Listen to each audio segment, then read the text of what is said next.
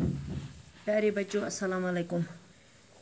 Sixth class शेर मैसूर टीपू सुल्तानपुर अस लेसन अत लिखन सवाल गुक सवाल हैदर अली ने क्या तरक्की की और इसका राज क्या था?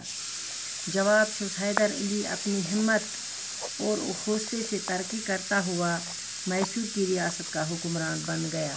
इसकी तरक्की का राज, इसकी हिम्मत और हौसला था।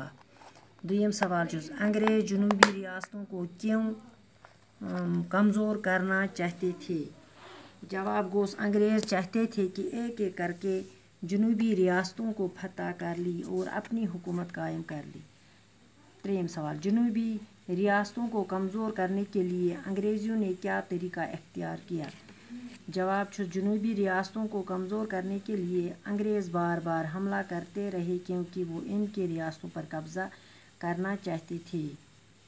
ब्याक सवाल। एक इंसान की हैसियत से टीपू की अजमत किन बातों से मालूम होती है?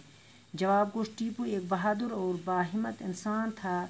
इसने अपने दुश्मन के सामने कभी भी सर न झुकाया और बहादुरी और खुददारी के आखिरी दम तक लड़ता रहा और शहीद हो गया, जो इसको एक अजीम इंसान ज़ाहिर करती है। इसने बहुत सी समाजी बुराइयों को ख़त्म किया। ये सब बातें इस बात का सबूत है कि एक टीपू, कि टीपू एक अजीम इंसान था। ब्याक सवाल, टीपू की कुत को कमज़ोर करने के लिए अंग्रेज़ों ने क्या किया? जवाब, छुस, अंग्रेज़ों ने टीपू की कुत को कमज़ोर करने के लिए टीपू के सरदारों को ज़मीनों और जागीरों का लालच देकर गदारी पर आमादा किया। बाकी वसलम।